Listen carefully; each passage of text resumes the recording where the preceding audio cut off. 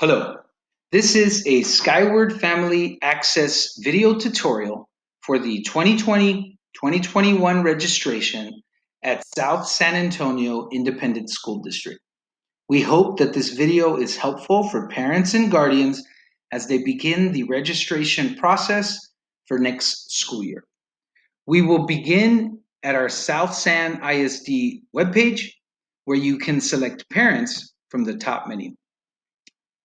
Once here, select registration to navigate to our registration webpage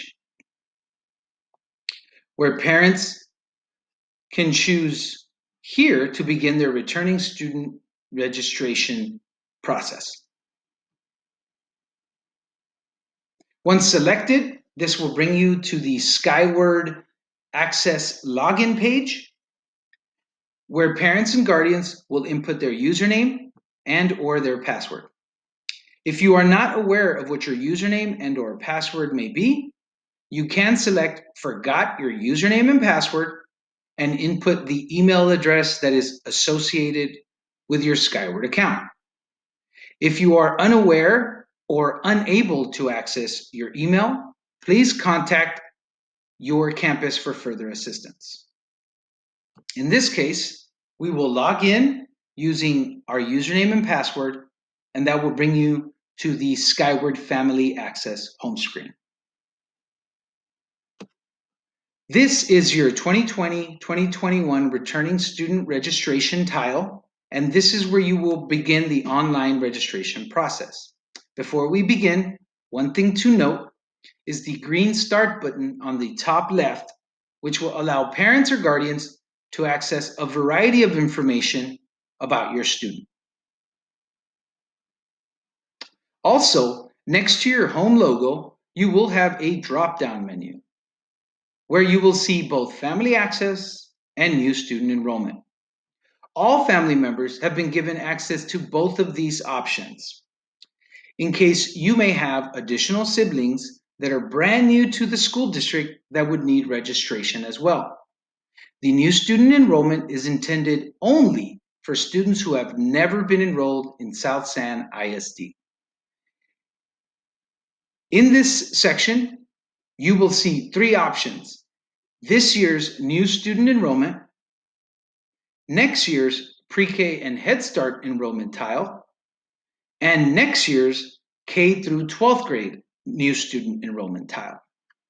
Again, these should only be used for students who have never been registered in South San ISD. In this case, we will navigate back to our family access and choose returning student registration tile. Once selected, this will bring you to the online forms page. Please allow yourself anywhere between 20 and 30 minutes to complete all our online forms as part of the registration process. Once ready to begin, parents and guardians may select the green Start button. Once you've started the online registration process, you may log off and the system will allow you to resume